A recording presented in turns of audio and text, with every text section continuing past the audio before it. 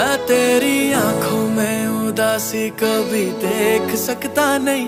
तुझे खुश मैं रखूँगा सुने मैं तेरे होठों पे खामोशी कभी देख सकता नहीं। सारी